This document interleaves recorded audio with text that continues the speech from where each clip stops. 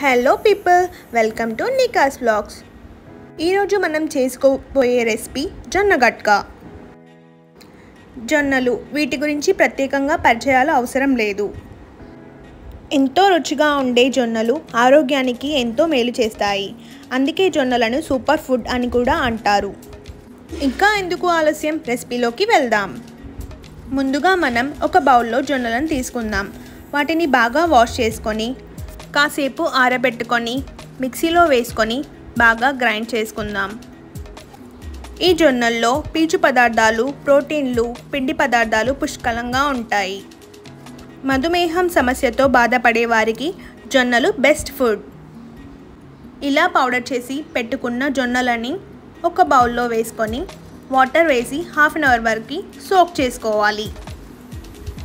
ఇప్పుడు మనం దీన్ని బాయిల్ చేసుకుందాం.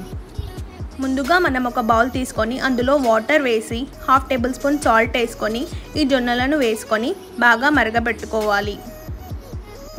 ఈ జొన్నల పౌడర్ని ఇలా బాగా బాయిల్ చేసుకోవాలి. ఇలా జొన్నలను తీసుకోవడం వలన క్యాన్సర్ వచ్చే రిస్క్ కూడా తగ్గుతుంది.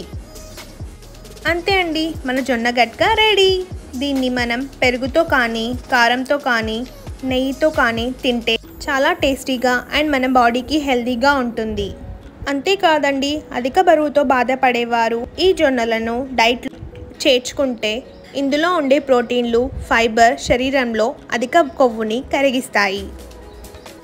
ఈ వీడియో కనుక మీకు నచ్చినట్లయితే లైక్ చేయండి షేర్ చేయండి సబ్స్క్రైబ్ చేయడం మర్చిపోవద్దు.